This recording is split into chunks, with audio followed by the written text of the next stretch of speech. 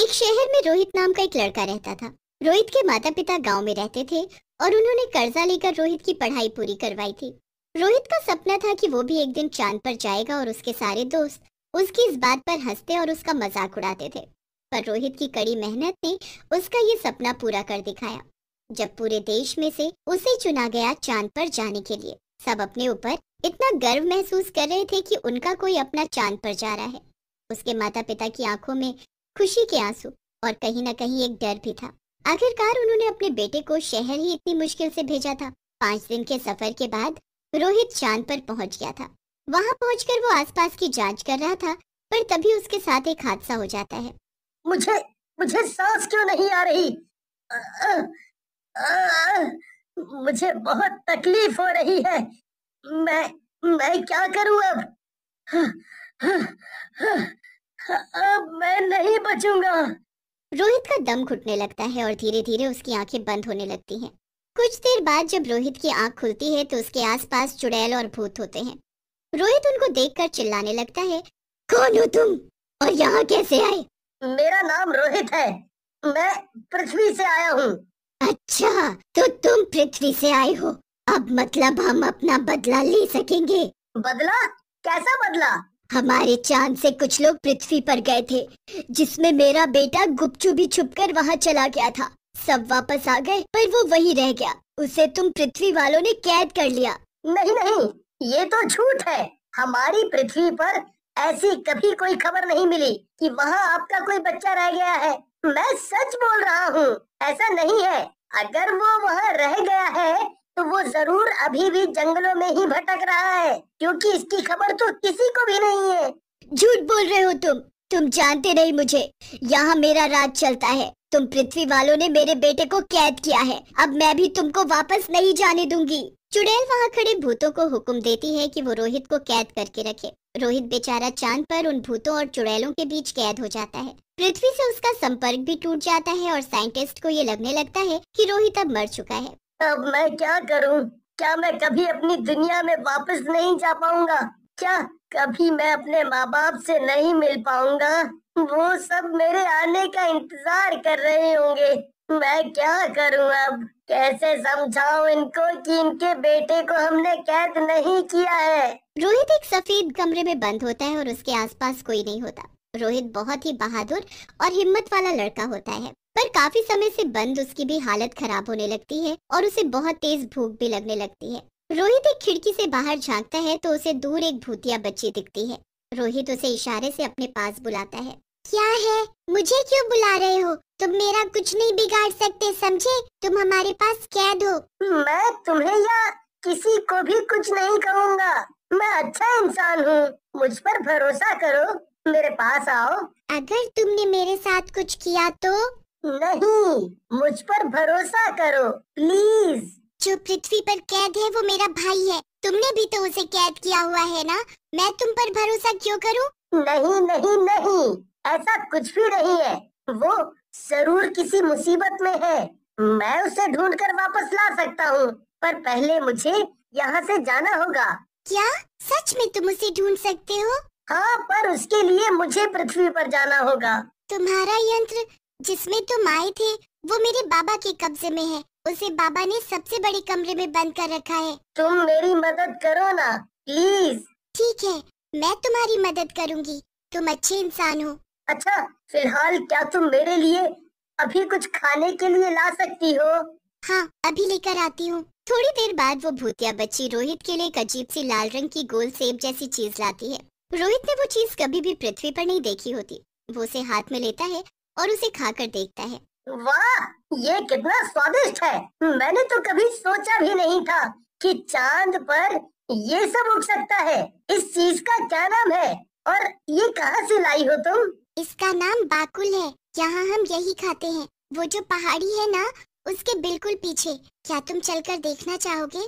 हाँ क्यों नहीं? अभी दरवाजे पर कोई पहरा दे रहा है। जब वो सो जाएगा तब मैं आऊँगी और तुमको चाँद की सैर कराऊँगी।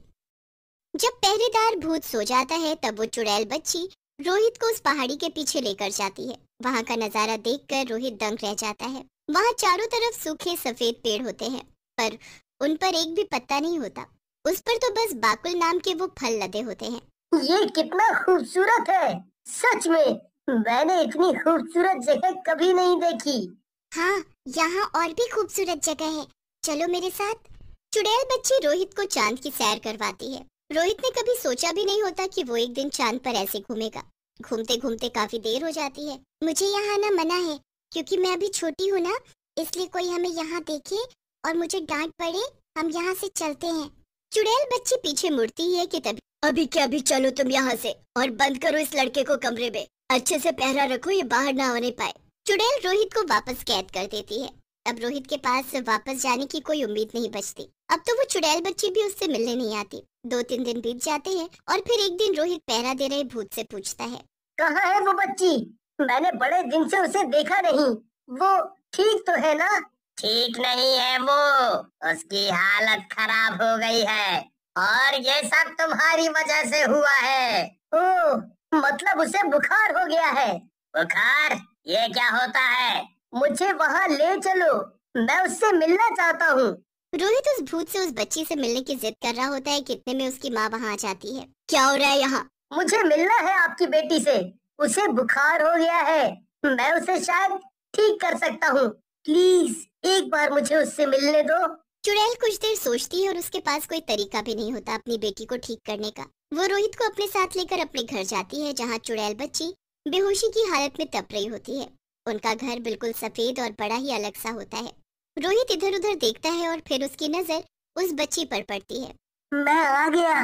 मैं तुम्हें कुछ नहीं होने दूँगा। रोहित चुड़ैल से वो पानी माँगता है। फिर वो अपने हाथ पर बंधे एक कपड़े के बैंड को उतारता है।